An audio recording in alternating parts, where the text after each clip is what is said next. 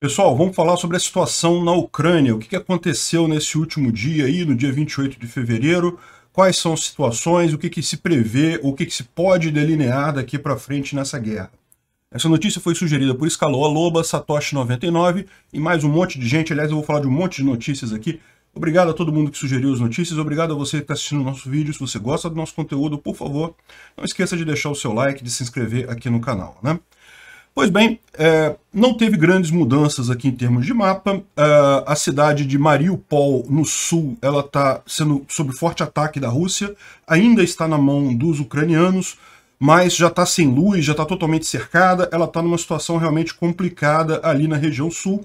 Ao contrário, porém, do que estão falando, tem gente falando que ela já caiu para os russos, não é verdade, não caiu ainda, ainda está na mão dos ucranianos, mas realmente ela está sob ataque pesado, né? A grande questão é, Mariupol caindo, ela, é, a, Rússia, a Ucrânia perde acesso ao Mar de Azov, que é esse, essa pequena baía aqui dentro do Mar Negro, né? Isso não é grandes coisas, tá, gente? O fato é, é lógico, isso é ruim, por quê? Porque permite aqui um corredor entre as forças de Donetsk e, e da Crimeia, né? Então, mas esse corredor, na verdade, já existe, ele já está formado aqui. Então, não é uma coisa boa, evidentemente, cair, cair Mariupol, mas não é também uma tragédia completa em termos estratégicos para a Ucrânia. Né? Muito pior seria Odessa. Odessa é muito mais estratégico porque é o acesso que tem a Ucrânia neste momento ao Mar Negro. É, bom, o acordo de paz que eles começaram a negociar anteontem, né, estavam é, negociando e coisa e tal, eu falei para vocês que isso tem muito pouca chance de, é, de sair, pra, sair alguma coisa aqui, por quê? A verdade é que o Putin já viu que ele entrou numa enrascada, mas agora ele não tem como voltar atrás, ele não vai aceitar sair dessa guerra sem ganhar alguma coisa. E a Ucrânia, que está vendo que agora a coisa está melhorando para o lado dela, está ficando cada vez mais provável. Quanto, cada, cada dia a mais que a Ucrânia sobrevive, fica mais favorável a coisa para ela. É lógico, a gente sabe que, no final das contas, a chance da Ucrânia ganhar essa guerra é mínima mas cada dia que passa, essa chance aumenta um pouquinho que seja, isso dá um pouco mais de esperança para o pessoal, então não tem, eles não veem por que parar a guerra agora, só, só seria útil para a Rússia isso.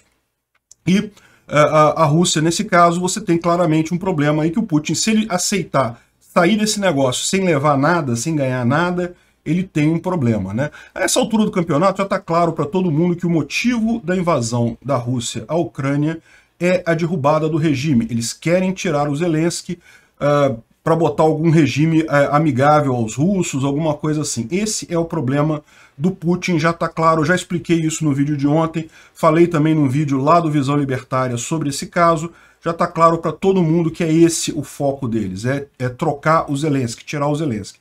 A questão toda é, como Zelensky não caiu até agora, a Rússia vai ter que continuar investindo na invasão pesada para ver se ele cai mais adiante. Isso é uma situação que é complicada realmente.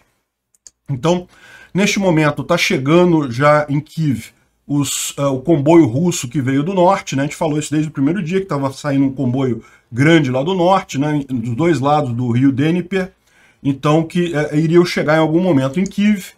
Eles vieram aqui da, uh, principalmente da parte aqui da, de Belarus, né? e tava, o, o, rio, o rio Kiev, o rio é, Dnieper, esse rio grande que passa aqui pela Ucrânia, então eles vieram dos dois lados, tem um pessoal que veio por Chernihiv e o pessoal que veio do lado de cá por Ivankiv, é, e já estão chegando aqui no subúrbio de Kiev, dos dois lados, mas estão enfrentando grandes perdas, estão enfrentando grande resistência, não estão conseguindo avançar como gostariam, é, muita gente acha assim, ah não, quando chegar esse comboio enorme em Kiev, Kiev caiu, acabou a cidade. Coisa, e não é bem assim não, porque Kiev é uma cidade muito grande, tanques dentro de uma cidade pode até ter um bom efeito dissuasivo, né, mostrar força e coisa e tal, mas a verdade é que em termos de objetivo técnico mesmo, não consegue grande coisa. Tanto que é, se diz, isso a gente não tem confirmação, mas se diz que o objetivo dos russos, na verdade, é circular Kiev, é isolar Kiev para evitar justamente entrar muito na cidade e causar muita, é, muito dano civil, e isso geraria um efeito negativo para a Rússia. A gente vai ver agora que eles estão chegando lá qual que vai ser a estratégia. Se eles vão tentar tomar Kiev direto ou se eles vão tentar fazer o cerco à cidade. Né? Outras novidades que a gente teve ontem, além de Mariupol e o, o comboio russo chegando a Kiev, é, é, que pela primeira vez a Ucrânia atingiu alvos dentro da Rússia. Né? Ela liberou fotos aqui de um ataque que eles teriam feito com mísseis no aeroporto em Milerovo, na, no, no sudeste da Rússia. Se você olhar aqui no mapa, Milerovo fica aqui, ó. É, é, havia um aeroporto aqui que estava sendo usado pelas, pelos russos para dar suporte aéreo às províncias de Donetsk e Luhansk, e isso foi, é, esse aeroporto foi bombardeado pelas forças é, da Ucrânia, né? ou seja, não foi, não é que os soldados ucranianos tenham entrado na Rússia, eles bombardearam usando mísseis, mas é, afligiram, deram danos lá, colocaram danos ao exército russo no território russo. Né? Outra coisa interessante da gente observar, deixa eu ver se eu falei tudo aqui, é, é, coluna de tanques, Mariupol, Mar de Azov, aeroporto no sul da Rússia. Lukashenko, até pouco tempo atrás, estava dizendo que não, que a Belarus não tem nada a ver com isso, que a Rússia está só entrando pelo território deles, que não tem tropa deles entrando nisso daí. E é uma coisa muito curiosa, porque o Lukashenko ele é um, um lambedor de ovos do Putin, né? ele é um, um cara que está plantado ali na Bielorrússia, em Belarus, pelo Putin. Houve recentemente muitas revoltas por ali, vocês lembram no início da pandemia, muita crítica à, à, à gestão dele, é, ele, houve gente que achou que ele iria cair, acabou que ele não caiu, por quê? Porque ele teve apoio do Putin, então ele deve muito favor ao Putin, e é, até ele está tirando a mão desse negócio, por quê? Porque ele sabe que essa coisa está andando mal. Não estou dizendo que militarmente a Rússia não vai ganhar essa história, estou dizendo para vocês, militarmente vai ganhar. A questão é economicamente como é que vai ficar essa história no final das contas, né? Até ele também meio querendo tirar as mãos dali. Mas o, o Putin, lógico, ele já uh, deu um ultimato para o Lukashenko, e o Lukashenko diz que já colocou tropas de Belarus agora na região de uh, Chernihiv. Ou seja, as tropas russas estão vindo aqui por Yankiviv, e uh, também por Chernihiv, também tem vindo tropas russas, mas as tropas de Belarus também entraram por aqui, né? Estão ajudando aí, as, reforçando a, a movimentação russa, né? Enfim, entrou na guerra, mas entrou forçado porque o Putin mandou ele entrar. Ou seja, nem ele quer entrar nessa guerra, só os brasileiros mesmo que acha bonito a Rússia tá atacando outro país, olha lá o Putin, olha só, estrategista, não sei o que lá. Um absurdo isso, essas pessoas estão perdendo meu respeito. Ontem a gente teve também uh, registro de várias armas, como por exemplo, armas de fragmentação sendo usadas contra civis, que são aquelas armas que dispersam fragmentos numa quantidade de lugares muito grande, por que essa arma é, é, é, não é recomendada ou é uma arma vista como ilegal? É porque justamente ela tende a atingir é, pessoas que não são um alvo específico, né? acaba atingindo civil, atingindo pessoas próximas. Então isso é vetado por algumas é, convenções, mas a Rússia e a Ucrânia não são signatárias dessas convenções. Ainda assim o pessoal está fazendo um, uh, um registro disso na ONU. Por quê? Porque o presidente ucraniano está, está colocando na ONU que a Rússia está fazendo ações que, de genocídio. E aqui a gente está falando de genocídio de verdade. Aprenda a oposição no Brasil. Isso é um genocídio. Quando as pessoas tentam matar pessoas jogando armas em cima delas, atirando contra essas pessoas. E por que, que isso é importante? Porque a ONU ela tem lá no regulamento dela, vocês sabem, o Conselho de Segurança da ONU ele é um conselho que é presidido por sete países que têm poder de veto. Dentre esses países está a Rússia.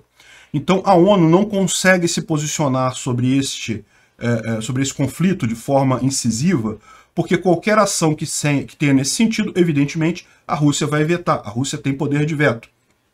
A questão toda é, existe no regulamento da ONU uma cláusula que diz que países acusados de genocídio podem ser suspensos da ONU.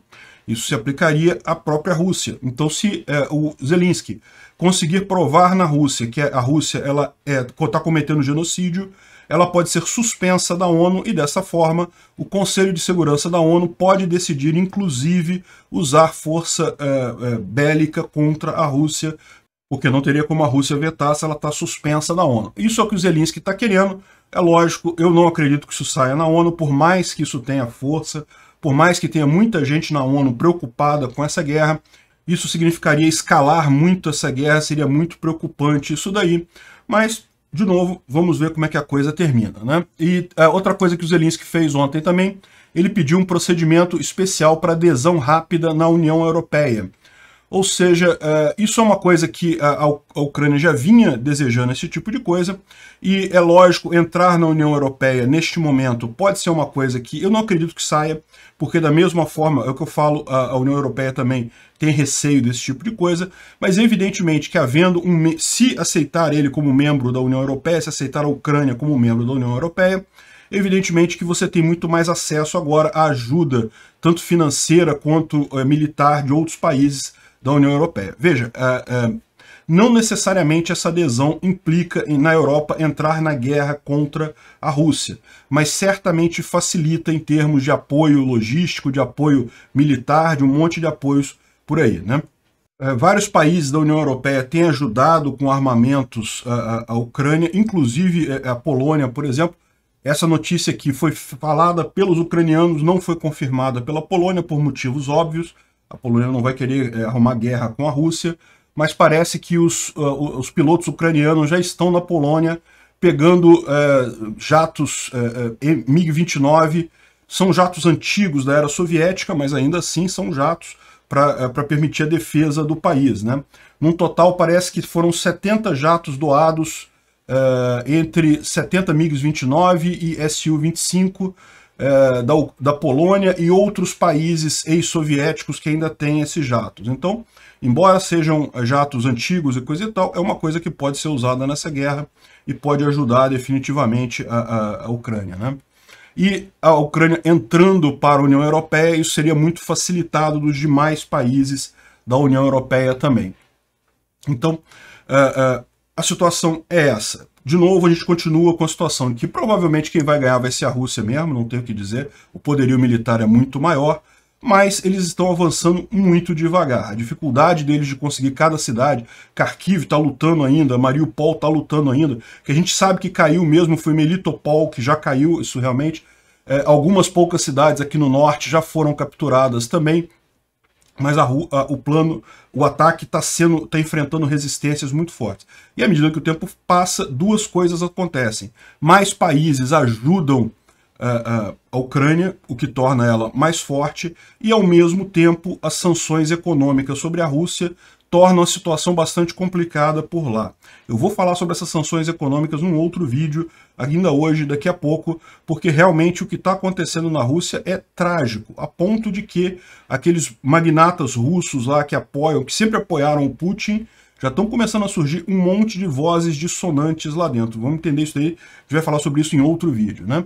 E só para terminar aqui, lembra que o Elon Musk prometeu é, é, é, internet na Ucrânia, olha só, já chegou caminhão com um monte de anteninha, já está ativado as antenas para serem distribuídas lá pela, pela Ucrânia. Olha que beleza isso. A Rússia pode tentar derrubar a internet na Ucrânia, não vai conseguir agora, porque tem um monte de terminais independentes da rede física de internet lá na Ucrânia. É realmente uma, é o que eu falo para vocês, essa questão das antenas, de você ter essa alternativa de internet pelo, celu pelo uh, por satélite, por mais que seja caro, por mais que não seja uma coisa que vale a pena para o dia a dia, é algo extremamente importante em situações críticas. De novo, o diagnóstico aqui é o que a gente já falou. Rússia vai ganhar? A Rússia vai ganhar, provavelmente vai ganhar. A que custo vai ser isso? Pois é, essa é a questão. Obrigado por assistir o vídeo até o final. Além de curtir, compartilhar e se inscrever no canal, considere se tornar patrocinador com valores a partir de R$ 1,99. Clique no botão Seja Membro abaixo para saber as condições e vantagens de patrocinar o canal. Mais informações sobre o nosso projeto, visite nossos sites indicados na tela.